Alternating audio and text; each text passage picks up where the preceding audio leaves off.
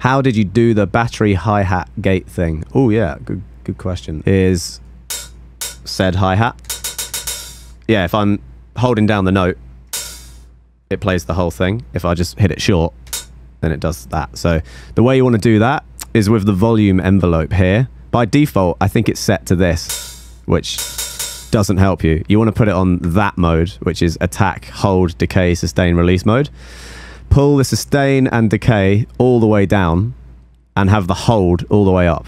Hold is what you want. When you're holding down the note, the sample is going to be let through.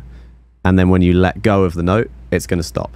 And release also comes into it because when you release the note, do you want it to just completely stop or do you want it to sort of fade out? So if I put the release up, it's it's still got a bit of to it. If I pull that down, it's insane. So somewhere in between is usually fine. I like that.